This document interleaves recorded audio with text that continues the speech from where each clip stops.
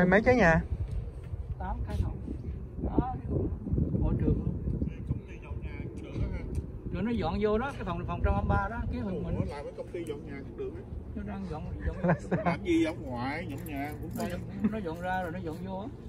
Rồi, hôm nay là à, mình tới dọn nhà cho ông Năm đó nha. Các bạn.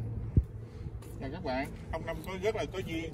Sau sau mấy ba tháng ông Năm được đi du lịch khắp nơi trên thế. sau anh á ông Năm đã lên núi à, ông Năm tu luyện. Bây giờ ông Năm mới trở lại hành nghề. Hai tháng rưỡi câm mồm lên. Tại ông, ông phải đi à, thẩm mỹ viện rồi. Vô của mình nó dọn rồi. Ồ, cái này. Mang đi ra đi từ gì tới đây là mình